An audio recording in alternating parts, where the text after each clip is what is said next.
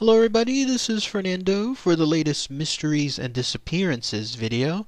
Alright, let's go ahead and let's do another entry here. This one though, just a random uh, a suggestion, one that I found actually on a website that chronicles disappearances throughout decades. So it starts with the most recent decade, then it goes backwards up until about 1800, in some cases even earlier on there. So every now and then I'll just pick a random one like this one look at the information and if it finds if I find that it's interesting enough to share then absolutely this is where this entry comes in. It has to do with a young man who disappeared in his youth uh, very very young in some ways and to this day it's a mystery as to why he disappeared because mainly the idea is that he himself in other words disappeared voluntarily. A lot of times with these disappearances it's pretty much just forced. Like something happens um, people get kidnapped or some other unfortunate circumstance. But no, in this case, everything seems to point to this young man just having, I guess, a crisis of sorts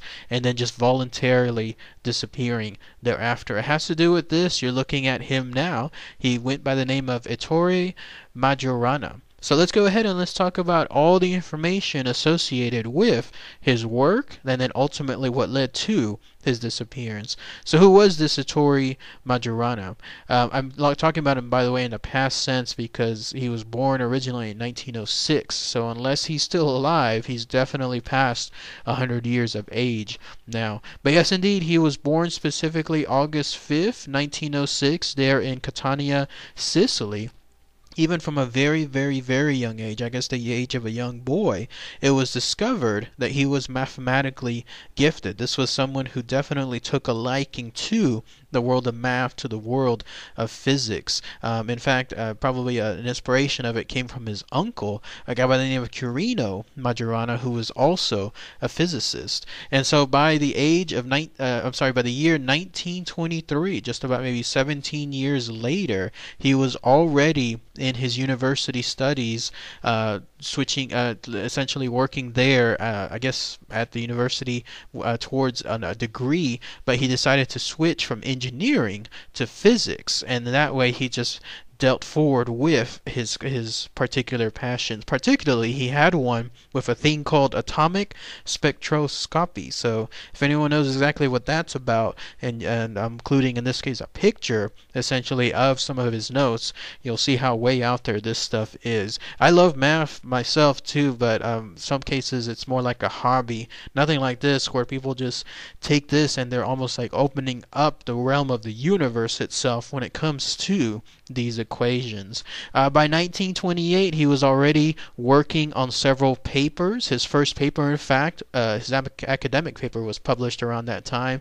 It was co-authored with another gentleman named Giovanni Gentile. Um, he was just basically going along, chugging with calculations, working on things, uh, working with other colleagues as well. By 1929, he earned his Laurea in physics, which is something along the lines of, of I think they call it a post-secondary academic degree. If someone can tell me what that is exactly, is that a uh, an undergrad, like the equivalency, or is that a graduate degree? Whatever is the case, he obtained it there at the University of Rome, La Sapienza. And so he was still continuing at that point, just going along with his work. In fact, he was recognized as someone, uh, I guess, with the person most responsible early on for knowing about the neutron, the particle known as the neutron, because apparently he discovered it as, as being something, like there was something that was an experiment that they were working on that it was like a mystery unknown particle within that experiment. And so he determined that it had to be something that had both a neutral charge and then a mass about the same as a proton. So in his case he uh, discovered it something along the lines of a neutron. One of his colleagues told him write an article about it. You discovered it. But he didn't even bother thereafter this guy Ettore so when that happened someone else well, followed along those same lines and they found the existence of this same neutron, they published an article, and guess what? They were awarded the Nobel Prize. So it goes to show that this guy, how smart he was, he was able to discover it, but he didn't really care about um, the glory or any of the other prizes for discovering these things. To him, it was just about, I guess, more of a personal conquest than later on trying to do something else. Because otherwise, he would have definitely gotten the Nobel Prize himself. Uh, and again, at 1932, and then there he was working with other famous people. In fact, in 1933, he was working with Werner Heisenberg. He found in him a colleague as well. He considered him a scientific colleague, but also a very close personal friend. And they uh, started to work together on the theory of the nucleus and other uh, similar type stuff. But it was during flash forward to later on that year, the fall of 1933, where things took a different turn for this guy, for this Ettore.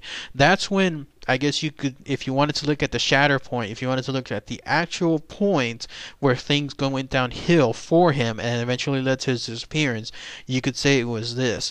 Because throughout all his travels in fall 1933, he finally returned to ho- uh, to home to uh, Rome. But people noticed that he had developed like very very poor health, and it was surmised it was because of his uh, nervous exhaustion. Maybe he was just working way way too much, working too many long long hours, sleeping too little, and so because of it, his health basically just went downward. He was put on a very, very strict diet. Not really sure if this was voluntarily or not, but in either case, it led him to be more reclusive and then more harsh with everyone around him friends, family members, especially his mother, it seemed like it was an annual tradition to accompany her on a summer vacation by a nearby sea. But this was the very first time where, in his uh, reclusiveness, he sent a letter to her telling her that he would not do so, and it seemed like it was not do so going forward, at least the stance of that letter. People saw that he was just such a recluse that he barely left his home during that time period. He became a hermit, and for around, I guess, the next four years or so, he just completely stopped. Like he shut himself off from all of his friends, from all his family members, and his works, his, his academic papers uh, were also stopped as well.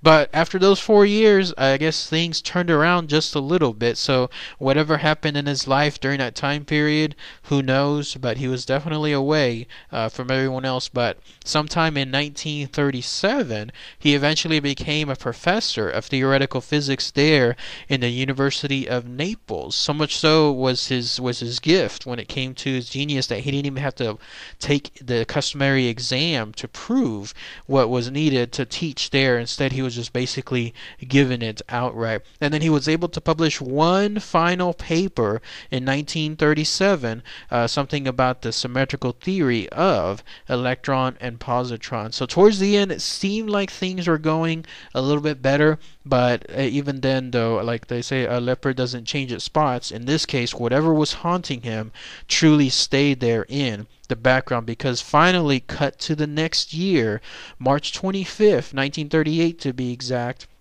that's when he was known to have taken a boat trip from Palermo to Naples, apparently to try to visit one of his friends, a guy by the name of Emilio Segrè. And so during this boat trip, he would just basically go there from point A to point B. But he disappeared. Nobody saw him. Nobody knew where he went. Nobody knew if he made it. Nobody saw his return, let's say back to his original point A. He just pretty much outright disappeared. And what made things more mysterious was the fact that he sent a note to another friend of his, a guy by the name of Antonio Carrelli, right before that day. Like he sent him, I guess it was a, a telegram, sending him this information. This is his exact letter. He said, Dear Carrelli, I made a decision that has become unavoidable. There isn't a bit of selfishness in it, but I realize what trouble my sudden disappearance will cause you and the students. For this as well, I beg your forgiveness, but especially for retaining the trust, the sincere friendship, and the sympathy you gave me over the past months. I ask you to remember me to all those I learned to know and appreciate in your institute, especially Sciuti. I will keep a fond memory of them all at least until 11 p.m. tonight, possibly later, to you and then he ended it with his name. Doesn't that sound like a suicide note right there? He's basically telling everybody, you know, I'm sorry for what I've done, um, and and and I beg your forgiveness, and everything I'll remember to uh, regarding our experiences up until a certain point tonight, down to the hour, and then it was sent off. So uh, isn't that crazy? It's like he knew that he was gonna disappear uh, because he wanted to disappear, and so he sent this letter to make sure everyone knew what happened to him, at least in the sense of his disappearance, but not exactly how it happened thereafter. But yes, indeed, this letter was sent off, and then people started looking for him, but no, no one ever ever found him. It seems like uh, he just went off the face of the earth. Uh, he might have either, let's say, uh, fallen a victim to uh, that trip there uh, by boat, maybe being lost at sea, maybe drowning, something along those lines, or he just basically committed suicide himself, and then that way he was ending whatever was haunting him all those previous years. But there have been theories, in fact, as to why he did this. There's the um, notion, of course, of him committing suicide. There's other ideas that he escaped to another location, in this case Argentina, maybe to try to create a new life there, or also to Venezuela as well. There's even the extreme notion that he went to a monastery, like he just completely gave up his entire past life to attend this new life there at the monastery and then there are others that are stating that around this time, again, this is being uh, late 1930s, this was the rise of the World War II, that he did so to avoid being a participant in the creation of the atomic bomb or an atomic weapon. And that's another, uh, at least another uh, theory out there. And finally, there's the idea that he went ahead and just basically became a uh, beggar, like he wanted to become the life of something along the lines of, of let's say, a homeless person, just again completely just letting go everything that was in his past life to do this here. Now, if you wanted to see where things took an interesting turn, you have to go by this. Check out this photograph here. Apparently, this photograph is dated 1955, and within it, the guy that you see on the left, people are stating that that's him, that that's Ettore Majorana, uh, in this case, still alive. Uh, this almost two, uh, you know, two decades later from his disappearance, because there are 10 points of articulation within that photo that match his face, and it comes from a guy who stated he met met him apparently in Buenos Aires, uh, if I'm not mistaken. So yeah, somebody met him there. They took a picture. I guess they must have recognized him, or it might have been just pure happen chance, and this was just a random stranger. And they decided to take a picture together, and then that's when they saw the similarities thereafter. But yes, uh, there's the idea that he actually survived. In this case, his disappearance. If it was a suicide, no, like he didn't commit suicide. He just simply vanished uh, to lead a different life, and that this was the only known other existence of him afterward. So there's that notion too. Whatever is the case, though, the attorney's office there in Rome has legally declared him, I guess, something on the lines of alive, at least between 1955 and 1959, living there somewhere in Venezuela. And then afterward, who knows? Uh, they consider the case officially closed because uh, someone voluntarily disappearing and not having anything criminal tied to them, it's not something that they'll pursue. So there's no real official matter here with regards to trying to find a final answer. So um, that's where they left it as is.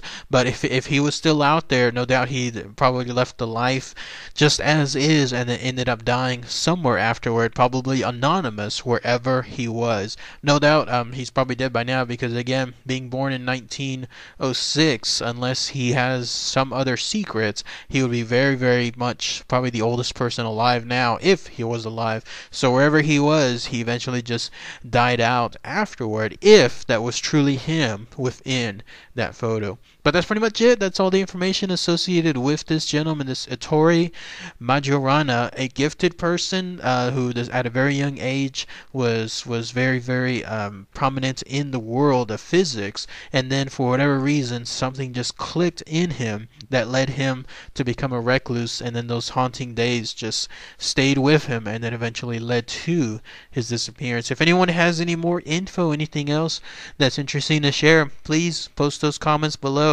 His works, by the way, are still being used to this day. Apparently, he had a, a, a his own theory, something like a, a math equation that's named after him that's being used to this day, the Majorana equation there's also the idea that the work that he's done may also help build a quantum computer sometime in the future. So even decades afterward, his uh, his his paper, his his theories, whatever he was doing during his time period, is still out, uh, relevant relevant to this very day. So very very interesting to find that out too. So all right, everybody, thanks again as always. Take care.